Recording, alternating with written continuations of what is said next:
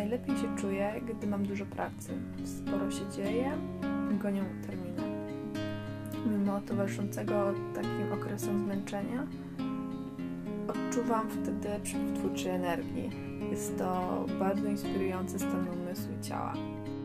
Chyba mój ulubiony.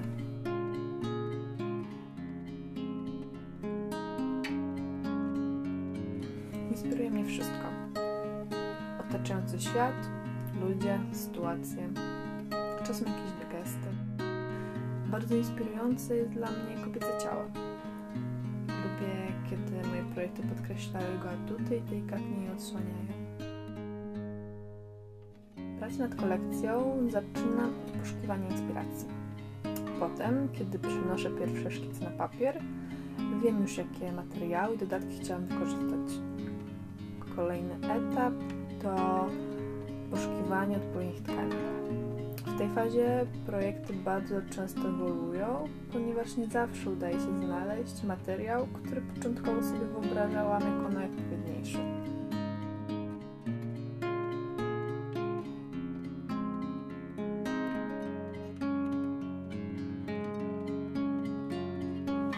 Cechą charakterystyczną wielu moich projektów jest to, że je wyszywam sznurkiem, koralkami albo zrobionymi przeze mnie z materiału kwiatkami, tak aby uzyskać efekt sukienki obsypanej kwieciem.